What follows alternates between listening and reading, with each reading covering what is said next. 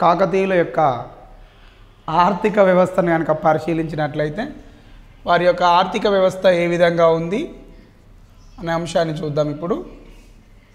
ఆర్థిక వ్యవస్థ. ఇది ఎవరి యొక్క ఆర్థిక వ్యవస్థ అంటున్నామండి? కాకతీయుల యొక్క ఆర్థిక వ్యవస్థ అని చెప్పి పిలుస్తున్నాను. రైట్. దీనిలో ప్రధానంగా మనం ఎలా చూస్తాము అంటే కాకతీయుల యొక్క ప్రధాన ఆదాయం ఏమిటి? భూమి శిస్తు. ఏమంటున్నామండి? కాకతీయుల యొక్క ప్రధాన ఆదాయం భూమి శిస్తు అంటున్నాం. ఈ భూమి శిస్తును ఎంత మేరకు వసూలు చేశారట అంటే వీళ్ళు ఒకటి బై ఆరో వంతు భూమి శిస్తును వసూలు చేయడం జరిగింది అంటున్నా. ఎన్నో వంతు అండి? ఒకటి బై మూ ఆరో వంతు. మరి కాకతీయుల కాలంలో భూమి శిస్తును ఏమని పిలిచిర్రు? అంటే కాకతీయుల కాలంలో భూమి శిస్తును ఏమని పిలిచిరట అంటే అరి అని పిలవడం జరిగింది. భూమి శిస్తును చెల్లించే రైతును ఏమని పిలిచిరట అంటే అరిగాపు అని చెప్పి పిలవడం జరిగింది. ఎవరినండి? భూమి శిస్తును చెల్లించేటువంటి రైతును ఏమని పిలిచిరట అంటే అరిగాపు అని పిలవడం జరిగింది. భూమి శిస్తును అరి అని పిలిచిర్రు మరి ఈ భూమి శిస్తును ఎన్ని రకాలుగా వసూలు చేస్తారట అంటే రెండు రకాలుగా వసూలు చేయడం జరుగుతుంది. అది ఒకటి ధన రూపంలోను మరొకటి ధాన్య రూపంలోను ఈ భూమి శిస్తును వసూలు చేయడం జరుగుతుంది. ధన రూపంలో భూమి శిస్తును వసూలు చేస్తే దాన్ని ఏమన్నారట అంటే పుట్టి హుండి అని చెప్పి పిలిచారు. ఏమంటున్నామండి? ధన రూపంలో భూమి శిస్తును వసూలు చేస్తే దాన్ని పుట్టి హుండి అని ధాన్య రూపంలో వసూలు చేస్తే ఆ భూమి శిస్తును పుట్టి కొలుపులు అని చెప్పి పిలిచేవాళ్ళు. భూమి శిస్తును ధన రూపంలో వసూలు చేస్తే పుట్టి హుండి ధాన్య రూపంలో వసూలు చేస్తే పుట్టి కొలుపులు అని పిలిచేవారు అంటున్నాం.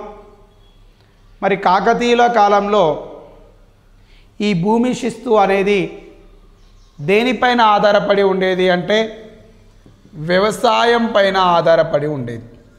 మరి ఈ వ్యవసాయం మీదనే ఏది ఆధారపడి ఉండేదట అంటే ఆర్థిక వ్యవస్థ. ఆర్థిక అభివృద్ధి జరగాలి అంటే వ్యవసాయ అభివృద్ధి జరగాలి. వ్యవసాయ అభివృద్ధి జరుగుతూనే ఏమొస్తుంది? భూమి శిస్తు అనేది వస్తుంది. అవునా? మరి ఈ భూమి శిస్తు ఎంత మొత్తం వసూలు చేసిరు ఒకటి బై ఆరో వంతు ఈ భూమి శిస్తు అనేది వసూలు చేయడం జరిగింది.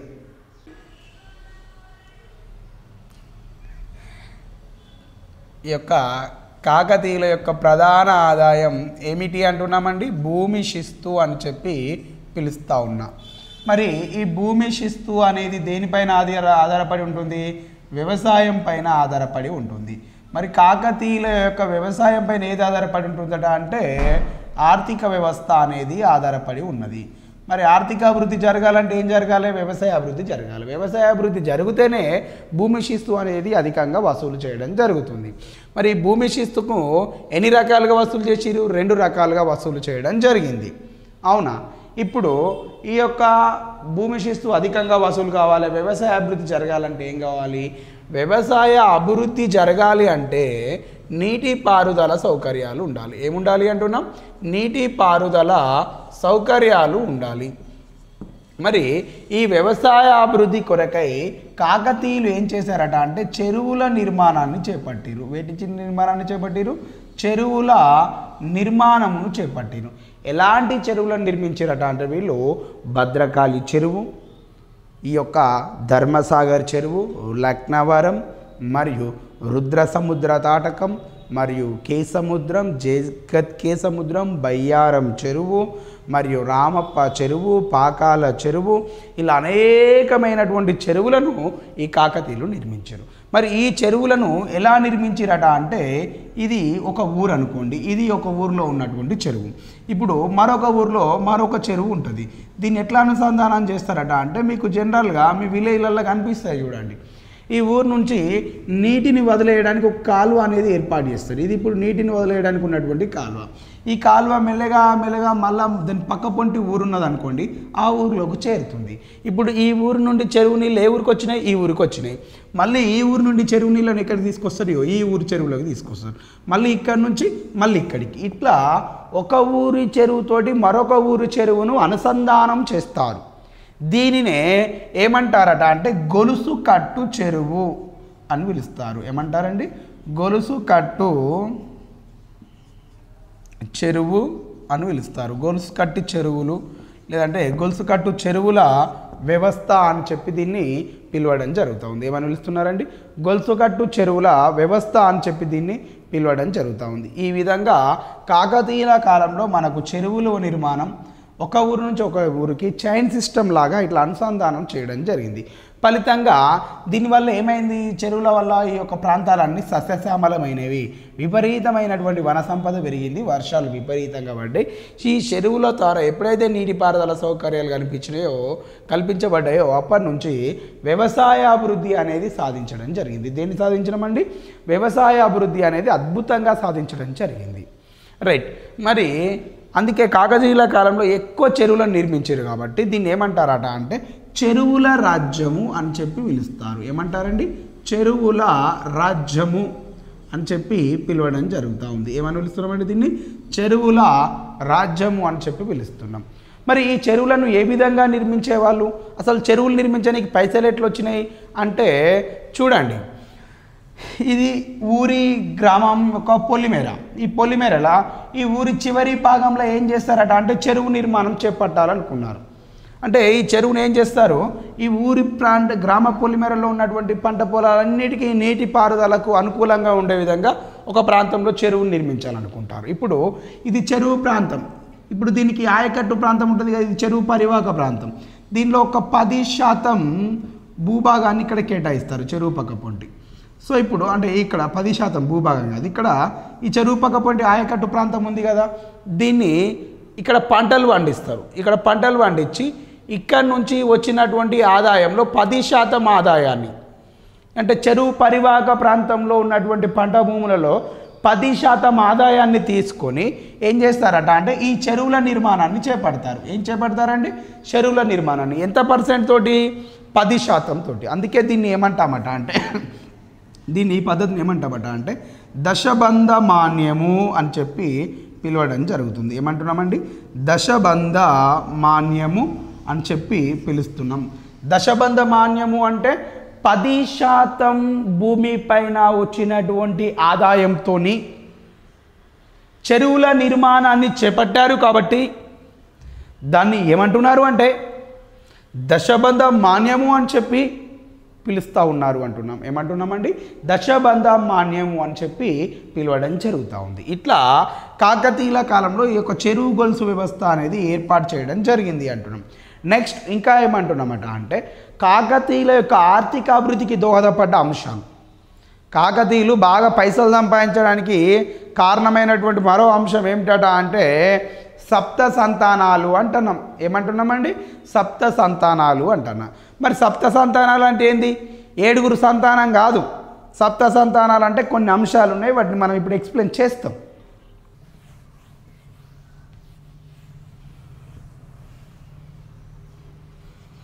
సప్త సంతానాలు అంటున్నాం. ఏమంటున్నామండి? సప్త సంతానాలు అని పిలుస్తున్నాం. ఏమని పిలుస్తున్నామండి? సప్త సంతానాలు అని చెప్పి పిలవడం జరుగుతూ ఉంది. మరి ఏంటి అండి సప్త సంతానాలు అంటే? ఒకటి తన సంతానము. ఏమంటున్నామండి? తన సంతానము. రెండు ఇతరుల సంతానము. ఏమంటున్నామండి? ఇతరుల సంతానము. మూడోది ఇల్లు. నాలుగు రచన ఐదు వనము ఆరు గుడి ఏడు చెరువులు. ఏమంటారమ్మండి చెరువులు. చూడండి. తన సంతానం ఇతరుల సంతానం ఇల్లు రచన వనము గుడి చెరువులు. ఎన్నైనాయండి? ఏడు. ఈ ఏడు అంశాలు కాకతీయుల యొక్క ఆర్థిక అభివృద్ధికి సహకరించినాయి.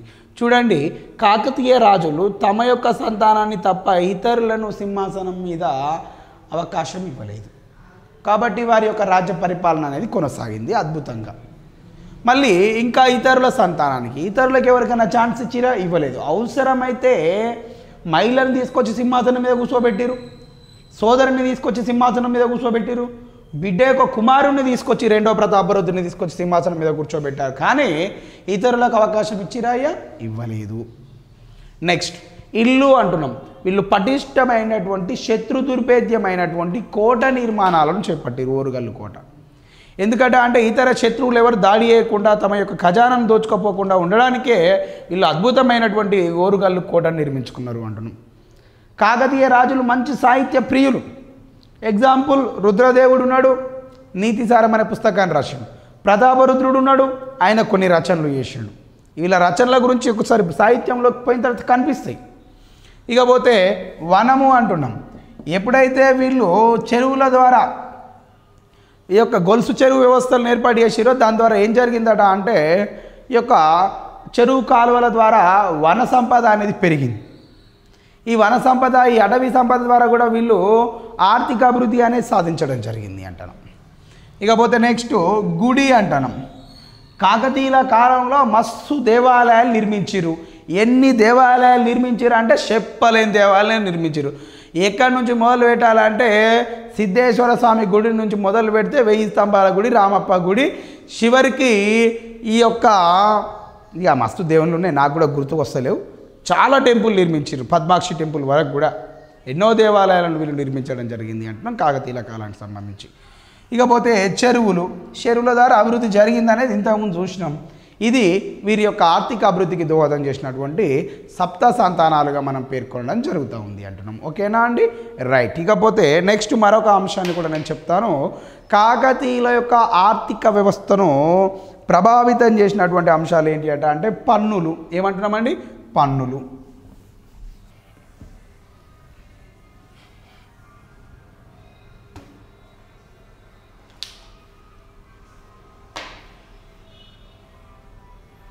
కాకతీయుల యొక్క ఆర్థిక వ్యవస్థను ప్రభావితం చేసినటువంటి పన్నులు అంటున్నాం. ఒక్కొక్కటి ఒకసారి చూద్దాం. ఏంటి ఏంటి అంటే పన్నులు. ఫస్ట్ ఆఫ్ ఆల్ కొన్ని సుంకాలు లేదా పన్నులను పరిచయం చేస్తున్నాను. అవి ఏంటి అంటే చూడండి. ఒకటి పేమటా సుంకం అని చెప్పి పిలుస్తున్నాం. ఏమంటున్నామండి? పేమటా సుంకం అని చెప్పి పిలుస్తూ ఉన్నాం. ఏమంటున్నామండి? పేమటా సుంకం అని చెప్పి పిలుస్తూ ఉన్నాం. పేమట సుంకం అంటే ఏమిటట అంటే పట్టణాలలో సంతలను ఏర్పాటు చేసినప్పుడు ఏమంటున్నామండి? పట్టణాలలో సంతనలను సంతలను పట్టణాలలో సంతలు ఏర్పాటు చేసినప్పుడు ఆ సంతల పైన వసూలు చేసేటువంటి పన్ను. ఫర్ ఎగ్జాంపుల్ మీరు విలేజ్ నుంచి వచ్చి టౌన్లలో మార్కెట్లు ఉంటాయండి అక్కడ మార్కెట్లలో మీరు ఏం చేస్తారండి? ఈ యొక్క వస్తువులను కొనుగోలు చేస్తారు. ఎగ్జాంపుల్ అంగడి అంటారు చూడండి మార్కెట్ జరుగుతుంది కొన్ని విలేజ్లలో వారానికి ఒకసారి మార్కెటింగ్ జరుగుతుంది మార్కెట్ ఆ అంగట్లల్లో దుకాణ సముదాయాలు ఏర్పాటు చేసుకోవాలనుకోండి సంతలు. వాటిపైన కూడా వేలం అనేది విధించి పన్నులు వసూలు చేయడం జరుగుతుంది. మీకు ఎగ్జాంపుల్ ఎప్పుడైనా మార్కెట్లోకి పోయినప్పుడు వాళ్ళని అడగండి మీరు ఇక్కడ కూర్చొని టమాటాలు అమ్ముతున్నందుకు ఏమైనా ట్యాక్స్ తీసుకుంటురా? అని చెప్తారు. పట్టణాల్లో సంతలపైన విధించేటువంటి పన్నునే పేమటా సుంకం అని చెప్పి పిలుస్తారు. నెక్స్ట్ అమ్మబడి.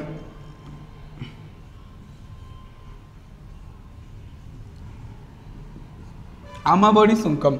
అంటే వస్తు సామాగ్రి పైన ఏమంటున్నామండి? వస్తు సామాగ్రి పైన విధించేటువంటి పన్నులు. ఏమంటున్నామండి? వస్తు సామాగ్రి పైన విధించేటువంటి పన్నునే ఏమంటున్నామట అంటే అమ్మబడి సుంకము అని చెప్పి పిలుస్తున్నాం. నెక్స్ట్ మరొక అంశాన్ని కూడా నేను ప్రస్తావించాలి. ఏంటిదట అంటే పెరికెడ్ల సుంకము. ఏమంటున్నామండి? పెరిక ఎడ్ల సుంకము. పెరికెడ్ల సుంకం. అంటే ఎడ్ల బండ్ల పైన విధించేటువంటి పన్ను. ఏమంటున్నామండి? ఎడ్ల బండ్ల పైన విధించేటువంటి పన్ను అని చెప్పి పిలుస్తూ ఉన్నాం. మరొకటి ఏమంటున్నాం? మరొక సుంకం. మరొకటి ఏమంటున్నామట అంటే పెరికెట్ల పైన విధించేటువంటి సుంకము. ఇకపోతే ఇంకా ఏమంటున్నామట అంటే మడిగ సుంకము అంటున్నాం. ఏమంటున్నామండి? మడిగ సుంకము. అంటే ఊళ్ళ దుకాణాలు ఏర్పాటు చేస్తారు కదా ఆ దుకాణాల పైన కూడా పన్నులను విధించినట్లయితే దాన్ని ఏమంటున్నామట అంటే మడిగ సుంకము అని చెప్పి పిలుస్తూ ఉన్నాం. ఇంకా ఏమంటున్నాం? ఈ యొక్క కిలరం పన్ను అని చెప్పి పిలుస్తున్నాం. ఏమంటున్నామండి? కిలరం పన్ను అని చెప్పి పిలుస్తున్నాం. కిలరం పన్ను అంటే గొర్రెల మంద పైన. ఏమంటున్నామండి? గొర్రెల మంద పైన విధించేటువంటి పన్ను. ఏమంటున్నా? గొర్రెల మంద పైన విధించేటువంటి పన్ను అని చెప్పి పిలుస్తున్నాం. నెక్స్ట్ ఇంకేమంటున్నమాట అంటే గానుగ పన్ను. గానుగ పన్ను. ఈ యొక్క సారీ ఈ యొక్క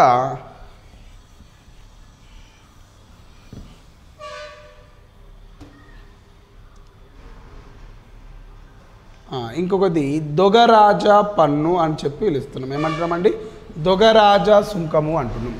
దొగరాజ సుంకము అంటే యువరాజు యొక్క ఖర్చుల కొరకై విధించేటువంటి సుంకము. యువరాజు యొక్క ఖర్చుల కొరకై విధించే సుంకంనే దొగరాజ పన్ను అని చెప్పి పిలుస్తున్నాం. నెక్స్ట్ ఇంకొక ముచ్చట చెప్పాలి. పడేగల సుంకము అంటున్నా. ఏమంటున్నామండి?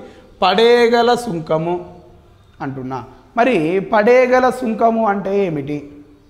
మరి పడేగల సుంకము అంటే ఏమిటి అంటే ఈ యొక్క పడేగల సుంకం అంటే ఏమిటి? ఇది ఈ యొక్క సైనిక ఖర్చుల కోసం. ఏమంటున్నామండి? సైనిక ఖర్చుల కోసం విధించేటువంటి వసూలు చేసేటువంటి పన్నునే పడేగల సుంకము అని చెప్పి పిలుస్తూ ఉన్నాం. ఏమంటున్నామండి? ఈ యొక్క సైనిక ఖర్చుల కోసం వసూలు చేసేటువంటి పన్నునే ఏమంటున్నామండి మనము? పడేగల సుంకము అని చెప్పి పిలుస్తూ ఉన్నాం. ఇంకా ఏమంటున్నామట అంటే అలం పన్ను అని చెప్పి పిలుస్తున్నాం. అలము అంటే కాయగూరల పైన విధించేటువంటి పన్నునే ఏమంటున్నామండి? ఈ యొక్క అలం సుంకం అని చెప్పి పిలుస్తూ ఉన్నాం. వేటిపైన విధించేటువంటిదండి? ఈ యొక్క కాయగూరల పైన విధించేటువంటి పన్నును ఏమంటున్నామండి? అలం పన్ను అని చెప్పి పిలుస్తూ ఉన్నాం. ఇలా రకరకాల సుంకాలను కాకతీయుల కాలంలో వసూలు చేయడం జరిగింది అంటున్నాం. ఎవరి కాలంలో వసూలు చేసేయండి కాకతీయుల కాలంలో ఇలాంటి సుంకాలను వసూలు చేయడం జరిగింది అంటున్నాం. వీటితో పాటుగా ఇంకేమంటున్నామట అంటే ఇల్లరి పన్ను అంటున్నా. ఏమంటున్నామండి? ఇల్లరి పన్ను అంటున్నాం. మరి ఇల్లరి పన్ను అంటే ఏంటిదండి? ఈ యొక్క ఇండ్ల పైన ఇండ్ల పైన విధించేటువంటి పన్నునే ఇంటి పన్నునే ఏమంటున్నామండి? ఇల్లరి పన్ను అని చెప్పి పిలవడం జరుగుతూ ఉంది. ఏమంటున్నామండి? ఇల్లరి పన్ను అని చెప్పి పిలవడం జరుగుతూ ఉంది. ఇట్లా ఇలాంటి పన్నులను విధించడం జరిగింది అంటున్నాం. ఇక వీటితో పాటుగా ఇంకా కొన్ని పన్నులను కూడా పరిచయం చేస్తాను మీకు నేను.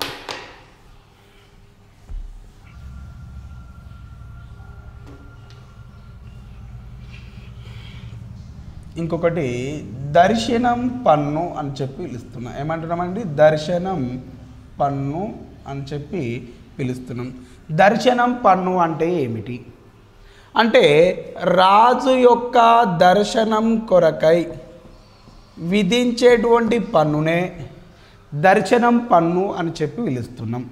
నెక్స్ట్ అప్పనం పన్ను లేదా దీన్ని ఏమంటారట అంటే ఉపకృతి పన్ను అని చెప్పి పిలుస్తూ ఉన్నారు. ఏమంటున్నామండి?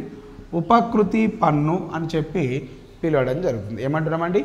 దర్శనం పన్ను లేదా ఉపకృతి పన్ను అంటున్నా అంటే ఏమిటి? దర్శనం లేదా ఉపకృతి పన్ను అంటే ఏమిటి? అంటే సరే అప్పనం లేదా ఉపకృతి పన్ను అంటే ఏమిటి? ప్రభుత్వ అధికారులను కలుసుకోవడానికి విధించేటువంటి పన్నునే ఈ యొక్క ఉపకృతి పన్ను లేదా అప్పనం పన్ను అంటారు. నెక్స్ట్ ఈ యొక్క పుల్లరి పన్ను అంటున్నాను. ఏమంటున్నామండి? పుల్లరి పన్ను అంటున్నాం. ఈ యొక్క పశుగ్రాసం వంట చెరుకు పైన విధించేటువంటి పన్నునే ఏమంటారట అంటే పుల్లరి పన్ను అని పిలుస్తున్నాము నెక్స్ట్ ఇంకేమంటున్నామట అంటే ఘనచారి పన్ను అంటున్నాం. ఏమంటున్నామండి? ఘనచారి పన్ను అని పిలుస్తున్నా. మరి ఘనచారి పన్ను అంటే ఏమిటి? ఘనచారి పన్ను అంటే ఏమిటి అంటే వేశ్యలపైన మరియు బిచ్చగళ్ళపైన విధించేటువంటి పన్నునే ఏమంటామట అంటే ఘనచారి పన్ను అని చెప్పి పిలుస్తాం. ఎవరిపైన విధించేటువంటి పన్ను? వేశ్యలపైన బిచ్చగాళ్ళపైన విధించేటువంటి పన్నునే మనం ఏమంటున్నామట అంటే ఘనచారి పన్ను అంటున్నాం. మరి నాటి కాలంలో కాకతీయ సమాజంలో వేశ్య వృత్తి చాలా ప్రధానమైనది. వీళ్ళకి సమాజంలో మంచి గౌరవం అనేది ఉండేది. వేశ్యలు అంటేనే అప్పట్లో చాలా గౌరవం వాళ్ళకు. మరి కాకతీయుల కాలంలో ప్రముఖ వేశ్య మహిళ పేరు ఒక ఆమె పేరు చెప్పండి సార్ అంటే నేను చెప్తానండి మాచల దేవి. ఏమంటన్నా? మాచల దేవి అంటన్నా. ఈమె రెండో ప్రతాపరుద్రుని యొక్క ఆస్థానంలో చిత్ర కళాకారిణిగా ఉండేది. అతని యొక్క వేశ్యామైల మహిళ అతని యొక్క లవర్ అని చెప్పుకోవచ్చు సింపుల్గా. అతని యొక్క ఉంపుడుగా అత్తయ్య అంటారు. ఈమె కోరిక మేరకే మనోడు ఏం చేసిండు? ఓరుగల్లులో చిత్రకళా కేంద్రాన్ని ఏర్పాటు చేసిండు మాచలాదేవి పేరు మీదుగా. మచ్చలదేవి అంటారు కొంతమంది నేనేం మాచలదేవి అంట. అప్పట్లో ఢిల్లీ సుల్తాన్ లాస్థానంలో ప్రముఖ వేశ్యామైల ఎవరు అంటే విశాలాక్షి. మరి అంతకంటే చాలా ప్రాధాన్యత కలిగినటువంటి వ్యక్తి మాచలాదేవి అని చెప్పి పిలుస్తూ ఉంటాం. ఇట్లా ఇలాంటి ఆర్థిక వ్యవస్థను కలిగి ఉన్నారు. ఇకపోతే ఇంకా వీరి యొక్క ఎగుమతులు ఏమిటి దిగుమతులు ఏమిటి అనే అంశాలను కూడా మనం డిస్కస్ చేద్దాం తర్వాతి క్లాస్లో.